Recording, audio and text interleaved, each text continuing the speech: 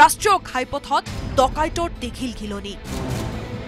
নিশা হলেই সাতত্ৰিশ নং ৰাষ্ট্ৰীয় ঘাইপথত টহল দিয়ে ডকাইতৰ গাড়ী।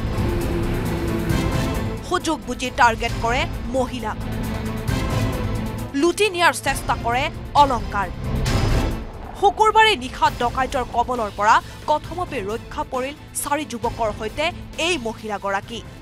মাত্ৰ কিছুদিন পূৰ্বে বিয়া হোৱা মহিলাগৰাকীয়ে আঠমঙলা খাই গুৱাহাটীৰ পৰা সৰু পথাৰলৈ অহাৰ বাটত মুখামুখি হল ডকাইতৰ। মোৰ আঠমহলা আছিলে আজি। আগত ট্ৰাক এখন আছিলে। আমাৰ গাড়ীখন পিছফালৰ পৰা আহি আছিলে। পিছফালৰ পৰা আহি আমি পিছফালে আইনাত দেখি আছোঁ। গাড়ীখন এনেকৈ জিকজেক জিকজেককৈ আহি আছে। সিহঁতে ছাইডেদি পাৰ কৰি নিছে। পাৰ কৰি পেলাই আগত ট্ৰাকখন ছাইডত আছে। আমি সেইফালেও যাব নোৱাৰোঁ। গতিকে ব্ৰেক মাৰি দিছে। ব্ৰেক মাৰি দিয়াৰ লগে লগে আমিও ব্ৰেক মাৰি দিব লগা হ'ল।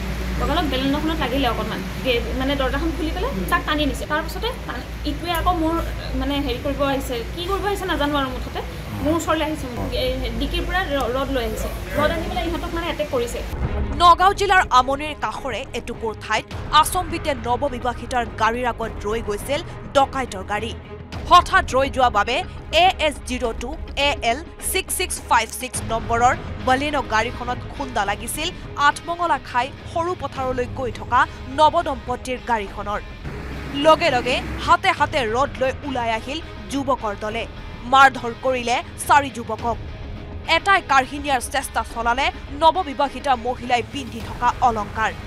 আনকি চাৰি যুৱকক গাড়ীত তুলি অপহৰণৰো চেষ্টা চলালে ডকাইতৰ দলটোৱে।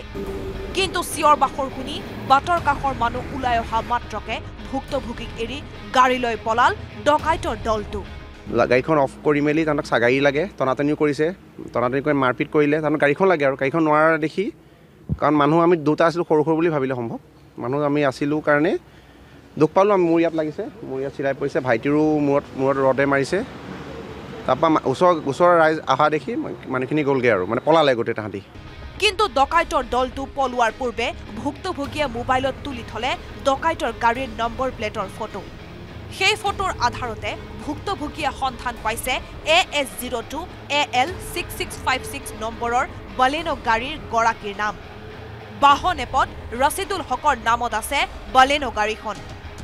আৰক্ষীয়ে খবৰ জেগাকণ কোন হ'ল কি হ'ল চালেগৈ গম পালে এতিয়া আমনি হয় এতিয়া আমি টুকটভাৱে কেছটো কেছটো দিবলৈ কৈছে কেনেকৈ কি হয়? ডকাইতি ডকাইতি। তাহাঁতক গাড়ীখন লাগিছিলে। ডকাইতৰ ৰদৰ আঘাত পোৱা চাৰি যুৱকক নিশাই প্ৰদান কৰা হ'ল চিকিৎসা। আনকি শনিবাৰে দুপৰীয়ালৈকে সৰু পথাৰৰ ঘৰলৈ উভতি যাব পৰা নাই ভুক্তভোগী পৰিয়ালটোৱে। নিশা কলিয়াবৰ থানাত অভিযোগ দিয়া ভুক্তভোগীয়ে ডকাইতি সংঘটিত হোৱা ঘটনাস্থলীৰ সবিশেষ জনাৰ পাছত এজাহাৰ দিলে চামগুৰি থানাত তেওঁলোকৰ হাজবেণ্ডৰ গাত হাত মানে মূৰত মাৰিছে আৰু মহিলাগৰাকীৰ গাতো হাত দিছে। গতিকে এই ঘটনাটো লৈ আমি অতিশয় দুখিত আৰু ইয়াৰ এটা উচিত তদন্ত ব্যৱস্থা কৰি অন্ততঃ চৰকাৰে সেই অঞ্চলটো ৰাতি পুলিচ পেট্ৰলিঙৰ ব্যৱস্থা কৰিব লাগে। A S zero' two A L six six five six নম্বৰৰ বলেনো গাড়ীৰ গৰাকীৰ নাম পোহৰলৈ অহাৰ লগে লগে চামগুৰি আৰক্ষীয়ে ডকাইতৰ দলটোক কৰায়ত্ব কৰিব বুলি আশা কৰিছে ভুক্তভোগীয়ে। নগাঁৱৰ পৰা নীলোৎপল বৰা আৰু কলিয়াবৰৰ পৰা দিবাকৰ দাসৰ report news eighteen Assam north east.